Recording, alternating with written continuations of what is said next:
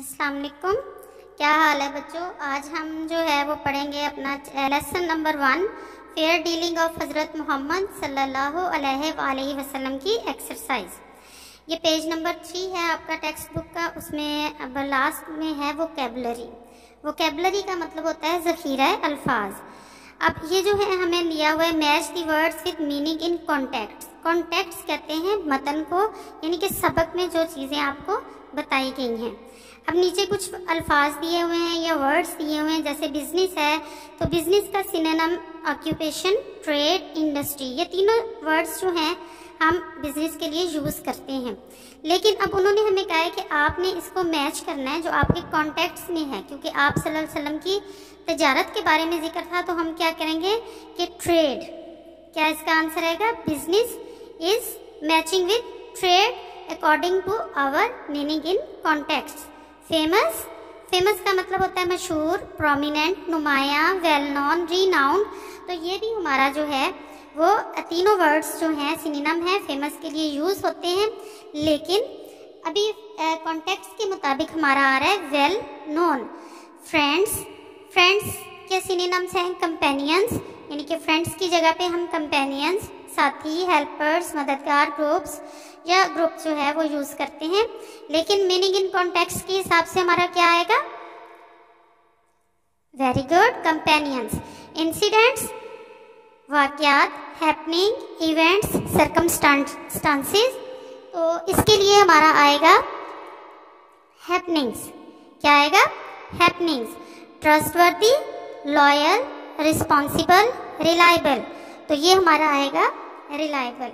मतलब हमने इसमें मैच करना है कॉन्टेक्ट्स के मुताबिक, यानी कि बुक में जो है वो हमारा क्या है। चलें, अब हम पेज नंबर फोर पे चलते हैं। इसमें उन्होंने हमें बताया हुआ है। अब हमारा पेज नंबर फोर पे क्वेश्चन है रीडिंग फॉर कंप्रीहेंशन मतलब इसमें पीछे जो आपने पढ़ा है, उसकी आपको कुछ समझ आई है कि नहीं, इसका पार्ट ए है read paragraph one of the lesson and identified topic sentence topic sentence होता है उनवान तो हम लोग अब देखते हैं कि पहला आपका जो पैराग्राफ है लेसन का, वो क्या है? हज़रत Muhammad was always fair and honest in his dealing तो इसकी पहली लाइन ही जो है, वो इसका टॉपिक सेंटेंस है, क्योंकि हम आप सल्लल्लाहु अलैहि वसल्लम की फेयर डीलिंग्स के बारे में पढ़ रहे हैं। तो बाकी जो जो है वो आपका नीचे पार्ट बी है स्पोर्टिंग डिटेल्स तो बाकी सारी जो है लाइंस पैराग्राफ की वो स्पोर्टिंग डिटेल में आ जाएँगी. जैसे कि अब हम देखते हैं पेज नंबर जो है वन उसमें पैराग्राफ नंबर वन हज़रत मोहम्मद सल्लल्लाहु अलैहि वसल्लम was always fair and honest his dealing with other people even before his नबूत तो पहली वाली लाइन जो है वो आपका टॉपिक सेंटेंस है। He was known as the truthful and the trustworthy in his young age he became a trader he traded with other people money with the great care and was very successful the people of Mecca were much impressed by his trading skills and fair dealing they had complete trust in him it was his honesty and fair dealing in business that impressed हज़रत Khadija and सोआन हमारा para honesty and fair dealing पे ख़त्म हो रहा है तो ये तमाम की तमाम जो है, वो क्या है? इसकी स्पोर्टिंग डिटेल्स हैं। जैसे आप लोग थर्स्टी क्रो पढ़ते हो स्टोरी तो थर्स्टी क्रो में आप उसके ऊपर टॉपिक देते हो थर्स्टी क्रो तो वो टॉपिक सेंटेंस क्या होता है? थर्स्टी क्रो और नीचे आप करते हो once there was a crow he was very thirsty he flew here and there तो ये सारी उसकी स्पोर्टिंग डिटेल्स होती हैं। अब इसमें पार्ट बी का जो क्वेश्चन है, वो है encircle and write the words in paragraph one that connect the sentences with with in this paragraph अब जो हमारे वर्ड्स वर्ड्स को कनेक्ट करते हैं या सेंटेंसेस को कनेक्ट करते हैं तो पार्ट्स ऑफ़ स्पीच में हम उनको कंजक्शंस बोलते हैं। क्या बोलते हैं? कंजक्शंस बोलते हैं या हरूफ अत्फ बोलते हैं। इनमें इन्होंने पूछा है कि पैराग्राफ नंबर वन में हमें बताइए कि कौन कौन से आप लोगों के जो हैं वर्ड्स यूज़ हुए हैं, जिन्होंने कनेक्ट किया है सेंटेंसेस को तो हमारे पास टू सेंटेंसेस को कनेक्ट कर रहे हैं अगर हम पढ़ें, हज़रत मोहम्मद सल्लल्लाहु अलैहि वसल्लम was fair and honest his dealing with other people even before his nabuwat. He was trustworthy in his young age. मतलब इवन कर रहा है in his young age he became a trader he traded with other people's money with great care and was and was very successful मतलब even and the people of Makkah were much impressed by his trading skills and fair dealing they had complete trust in him it was his honesty and दोबारा and use हुआ है हजरत Khadija she first entrusted her enterprise to him and दोबारा and use हुआ है तो हम बार बार repeat नहीं करते हैं, एक बार ही वो वर्ड बोलते हैं या बताते हैं। All the people who had done business dealing with him before his नबूत had always praised his honesty and fair dealing तो हमारे पास यहाँ पे कौन कौन से वर्ड्स जो हैं, वो मुख्तलिफ़ सेंटेंसेस को कनेक्ट कर रहे थे। ये हमारे पास कनेक्ट कर रहे थे एंड दैट और हु एंड सबसे पहले उसके बाद आया था दैट और उसके बाद आपके पास आया था इवन और फिर आपका एंड में जो है वो है हु अब हम आगे चलते हैं। आगे हमारे पास क्वेश्चंस एंड आंसर्स हैं। अब ये एक्सरसाइज के क्वेश्चंस जो हैं, ये थोड़े मैंने राइट कर लिए हैं ताकि आप लोगों को थोड़ी सी आसानी हो। पहला क्वेश्चन हमारे पास है व्हाट मेड दी रसूल सल्लल्लाहु अलैहि वसल्लम फ़ेमस इवन बिफोर हिज नबूत तो इसका आंसर क्या आएगा?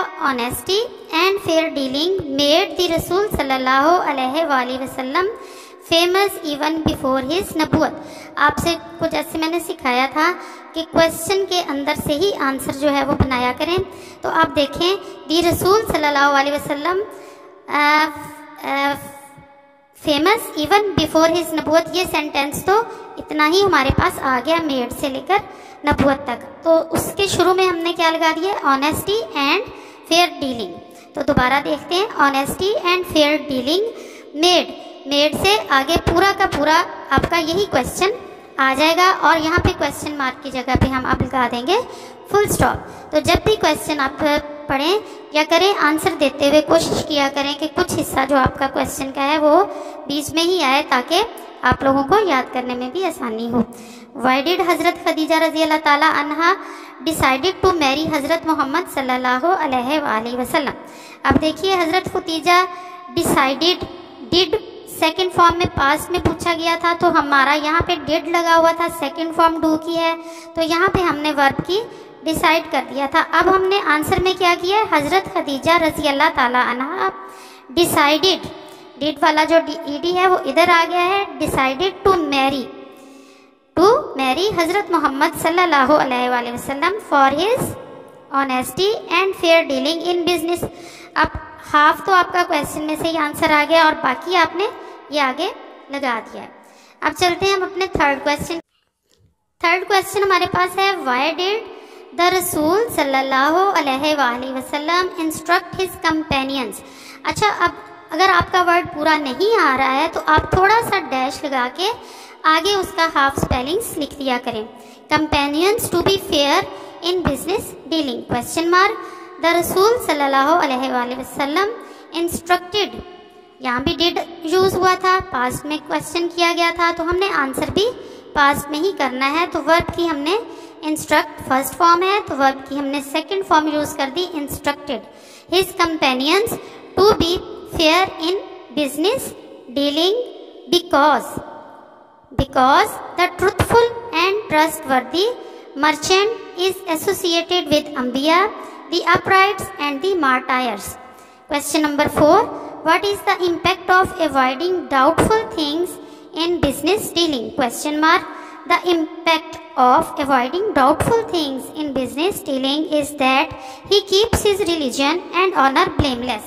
Full stop अच्छा क्वेश्चन जब करते हैं तो क्वेश्चन मार्क होता है और जब आंसर देते हैं तो हम फुल स्टॉप लगाते हैं अब आ जाता है क्वेश्चन नंबर फाइव लास्ट हमारा क्वेश्चन है how can we be honest and fair in our dealings we can be honest and fair in our dealing because by acting upon the instructions भी हम लगा सकते हैं यहाँ पे, लेकिन आपकी बुक में दिया हुआ है लास्ट में टीचिंग तो हम लगाएँगे टीचिंग्स ऑफ़ द रसूल सल्लल्लाहु अलैहि व आलिहि वसल्लम।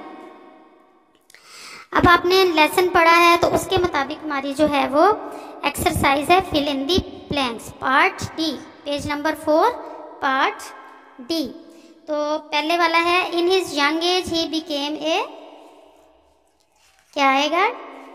ट्रेडर ठीक है वेरी गुड क्या आएगा? Trader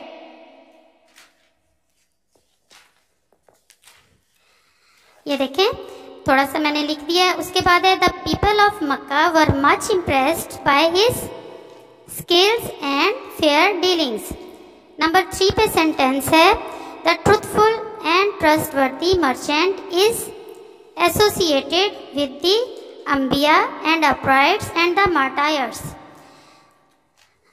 number four who, he who guards against against he who guards against doubtful things keep his religion and honor blameless question number 5 allah shows mercy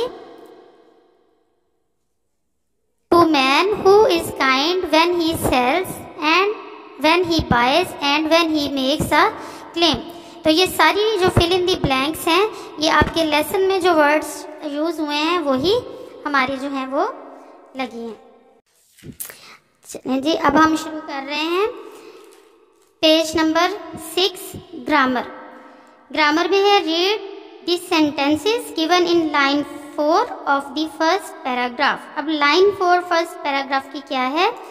In his young age comma he became a trader apostrophe the word trader is a common noun it is a profession. In the same way, we have other professions. तो ये हैं part A में कौन कौन से profession दिए हुए हैं? देखें ब्लॉक में हमें उन्होंने बताया हुआ है beggar actor beggar who begs actor who acts liar who lies lawyer who help in court, sailor who sails the boat a person who sails on the water is called a sailor a person who acts in a play is called an actor a person who tells lies is called a liar अब ये भी lawyer है और ये भी lawyer है दोनों एक साउंड दे रहे हैं लेकिन L I A R liar का मतलब होता है झूठा और एल ए डब्ल्यू ला ला निकला है कानून से तो लायर, कानूनदान या वकील। A person who begs is called a beggar a person who has studied law L A W law is called a L A W Y R lawyer वो कानूनदान कहलाता है। ये सारे हमारे पास क्या थे? कॉमन नाउन थे। अब हम देखें कॉमन कॉमन नाउन क्या बनते हैं? एक common noun is a word that names people places and things they are not the name of single person place और thing for example man cat book school इसी तरह जो हमने पार्ट ए में पढ़े हैं बैगर ये बशीर बैगर भी हो सकता है और कोई नज़ीर बैगर भी हो सकता है. एक्टर फहद, मुस्तफ़ा एक्टर है. कोई भी हो सकता है। तो वर्ड एक्टर कोई सेम नाम नहीं आता। आप जब बोलते हो एक्टर तो इट मीन्स कि बहुत सारे एक्टर आपके सामने आ गए हैं। बैगर तो बहुत सारे बैगर्स आ रहे हैं। तो जब कोई नाम आम होता है स्पेसिफिक नहीं होता है तो उसको हम कहते हैं कॉमन नाउन तो अब आगे कॉमन नाउन के बाद हमारे पास आ जाता है प्रॉपर नाउन तो प्रॉपर नाउन क्या होता है? ये स्पेसिफिक खास, मखसूस नेम होता है। Specific a proper noun is a name of a specific person place और थिंग मतलब जब आप उसका नाम बोले तो आपके जहन में फ़ौरन वही शख्सियत, वही जगह या वही चीज़ आए जिसका आप नाम बोल रहे हैं। जैसा कि कायद आज़म। तो ज़ाहिर है, जब आप कायद आज़म बोलेंगे तो इलामा इकबाल की पिक्चर तो माइंड में नहीं आएगी। कायद आज़म की आएगी तो क्या हुआ कि Quaid Azam is a proper noun Quaid Azam is a proper noun तो उसको हम कहते हैं प्रॉपर नाउन और प्रॉपर नाउन में को हमेशा हम कैपिटल लेटर से लिखते हैं, चाहे वो आपका सेंटेंस के बीच में आए या सेंटेंस के शुरू में आए।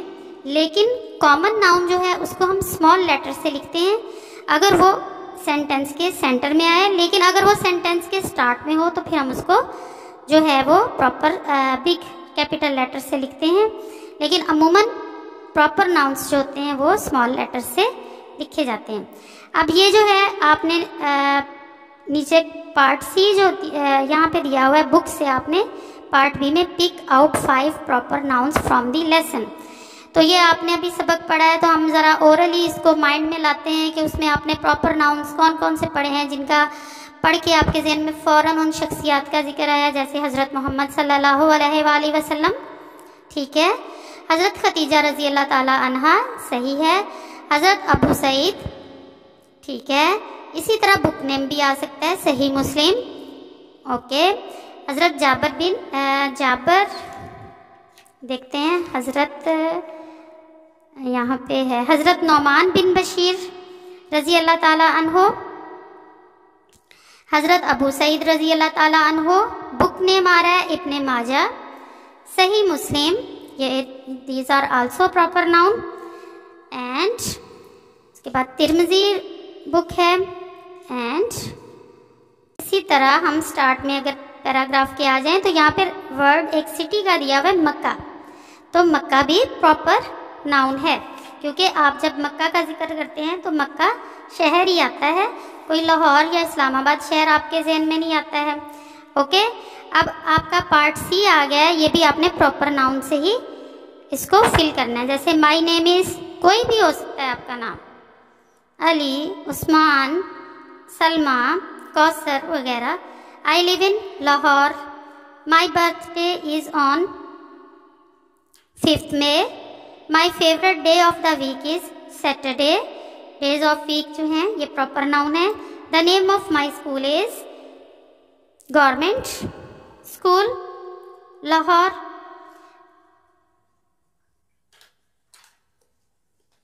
अब हम आगे आ जाते हैं। अभी कॉमन नाउन और प्रॉपर नाउन के बाद आपको एक और चीज़ बताई गई है possessive form of an animate noun अब सबसे पहले तो ये क्वेश्चन आपके जहन में आता है व्हाट इज़ एनिमेट नाउन तो एनिमेट नाउन क्या है? हम ये देखते हैं कि एनिमेट नाउन क्या है? एनिमेट नाउन है an animate noun refers to a things that is alive an animate noun is refers to a thing that is alive यानी कि जो चीज़ ज़िंदा है या लिविंग बीइंग है, उसको जो है रेफर करती है, उसको हम कहते हैं एनिमेट नाउन क्या बोलते हैं? एनिमेट नाउन अब उसकी पोजेसिव फॉर्म बताई गई है। यानी कि इसमें हमें उसकी पोजेसिव फॉर्म बताई गई है कि उसकी पोजेसिव फॉर्म जो है, वो तीन तरह से होती है।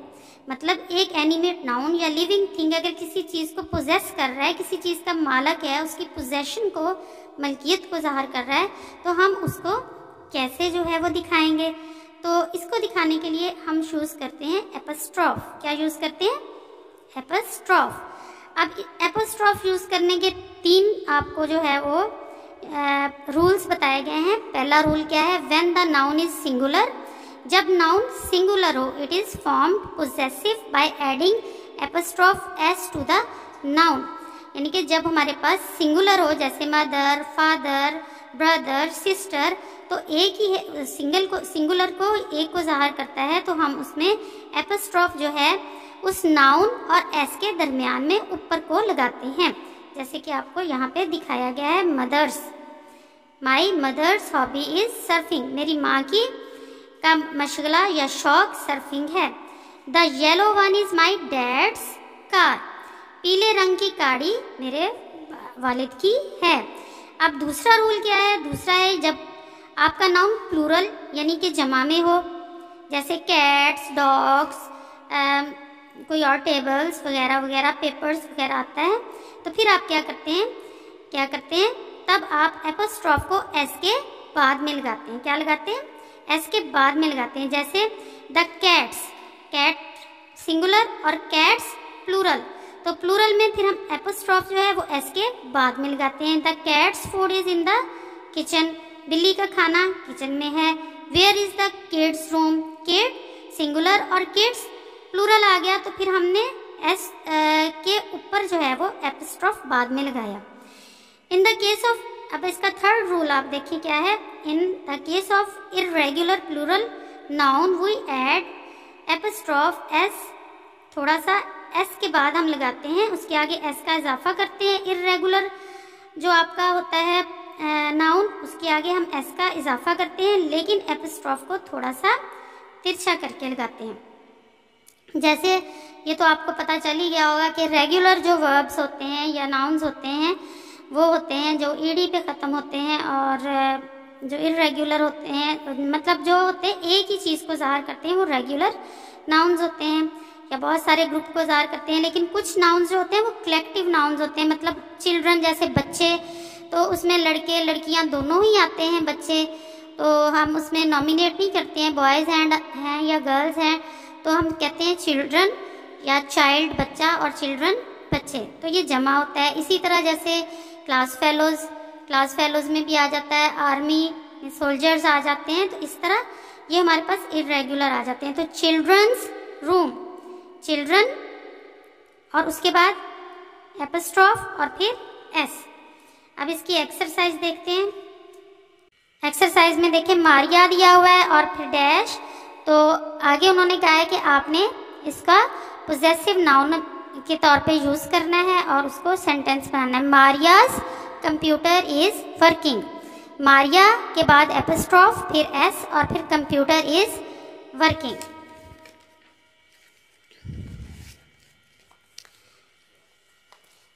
Sana dash sister Sana apostrophe S sister was sleeping Sana की बहन सो रही थी। The teacher's papers the teacher's apostrophe S teacher's के बाद आपका एपस्ट्रॉफ आएगा क्योंकि उन्होंने टीचर्स दिया हुआ है, जमा दिया हुआ है इरेगुलर दिया है तो हम एपस्ट्रॉफ जो है वो एस के बाद ऊपर लगाएँगे। द टीचर्स एपस्ट्रॉफ पेपर्स के बाद फिर apostrophe were on the table उसके बाद है Latif pencil Latif apostrophe S pencil was sharp my parents dash house my parents parents जमा है एस लगा हुआ है तो हम एपस्ट्रॉफ जो है वो बाद में एस के लगाएँगे हाउस इज़ ब्यूटीफुल शुक्रिया थैंक यू बाकी एक्सरसाइज कल करेंगे। आप इसको रिवाइज कीजिएगा और इसको अच्छे से याद कीजिएगा। अल्लाह हाफिज़ टेक केयर